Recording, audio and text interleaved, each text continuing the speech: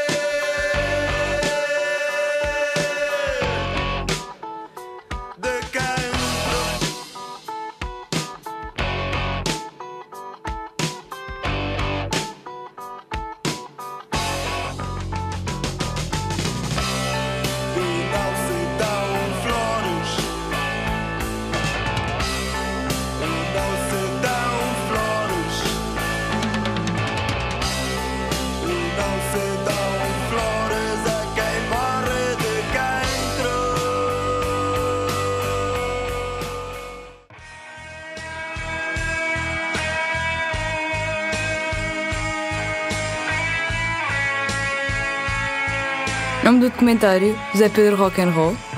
Nome do realizador: Diogo Varela Silva. Data de lançamento: 30 de julho de 2020. Resolvi escolher este documentário por se tratar de uma figura histórica no rock português. A sua contribuição para a música foi enorme. E não se expandiu só enquanto músico, mas também como radialista, DJ, crítico musical, dono de um dos clubes mais frequentados e que lançou mais bandas na década de 90, o Johnny Guitar. O documentário dá início a contar a infância de Zé Pedro. Tinha cinco irmãs e um irmão, filho de um militar. Como pai em missões, levava os filhos e a esposa com ele. Então, Zé Pedro, desde muito pequeno, que é viajado e gosta de conhecer. O sucesso dos chutes deveu-se muito à sua persistência. Sempre sonhou estar em palco.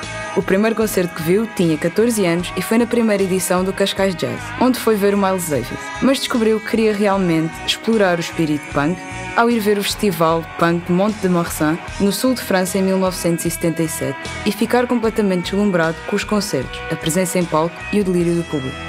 Começou a escrever críticas musicais no suplemento do jornal que era o Mosca e fica amigo dos membros da banda Faísca. E foi aí que conheceu Zé Lionel, que o desafiou a criar uma banda. Quando começaram, o espírito era mais punk do que musical. Atitude não lhes faltava, mas com o passar do tempo, lá se conseguiram definir e criar os sucessos de hoje, como por exemplo o álbum Circo de Feras.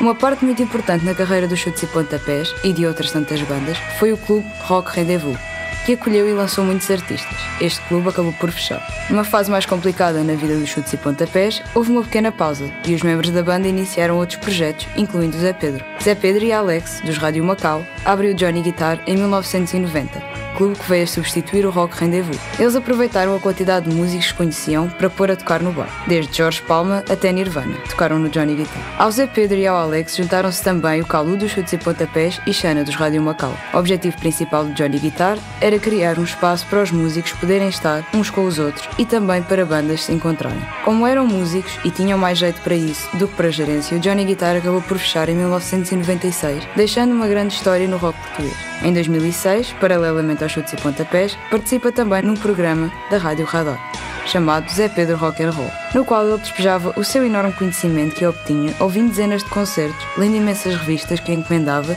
e estando sempre muito atento às novidades que iam surgindo no mundo da música, para depois a poder aprender.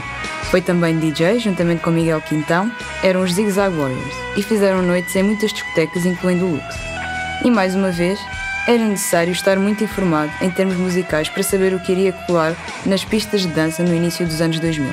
O documentário termina com pequenas mensagens ao guitarrista por parte dos amigos, colegas de banda e família, deixando clara a influência que o Zé Pedro teve ao longo de toda a sua vida. Todos os projetos que servem como uma grande herança e continuará a ser recordado por isso. Obrigado.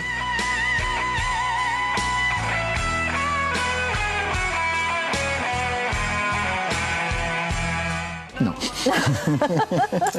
porque está-se uma vida a chamar-te dinossauro, etc. E Não, não sinto. não te sentes cota? Não.